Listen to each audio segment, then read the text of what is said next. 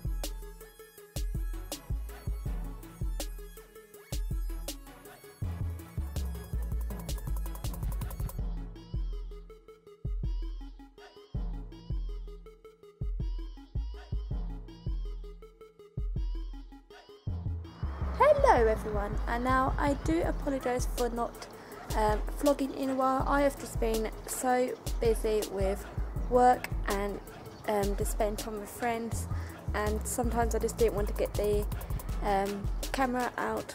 Um, but today, as it's a lovely, lovely sunny day, and I've got a day off today, I thought that I would um, show you um, a bit of my garden that my mum has been well starting to work on um, because we moved house. Um, for those of you who don't know, um, I moved house um, in last year in September, so early September. So we moved house and um, we've been uh, having builders around recently and working on things.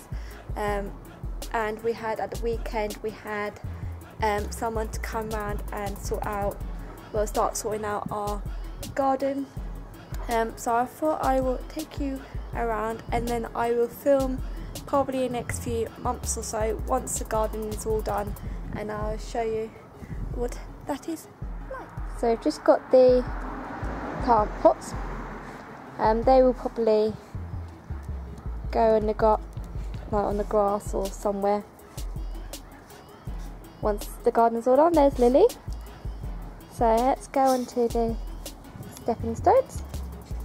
So this is where everything's all going to be changed soon. So just got uh, the grass has been cut, so that's all nice. Because now the weather's getting warmer. So I'm just going to step over these. Mind a dog poop. Uh, we've got our chairs, and then we've got the shed, um, which is just obviously garden things kept in there for now. Um, but yeah, once the garden is all done, I will um, show you what that will be like. Yeah, so that's what the garden looks like at the moment. Um, and I probably will film um, very soon. Um, I might do an outing trip to London. I was thinking of going tomorrow, um, but I'm not exactly sure. Um, and then I've got a couple of things coming up um, that I'm hoping to film as well. So yeah, just you'll just have to keep your eyes out, and um, I hope that you enjoy so far what I've got.